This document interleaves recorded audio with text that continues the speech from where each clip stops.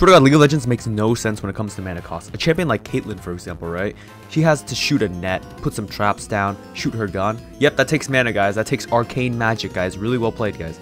Someone like Yone, for example, he can make an after image of himself which dashes him forward, like extend his soul out or some shit. Yeah, bro, that doesn't take energy or mana. It just takes nothing. I don't know, bro. Let me know what you guys think in the comments about that.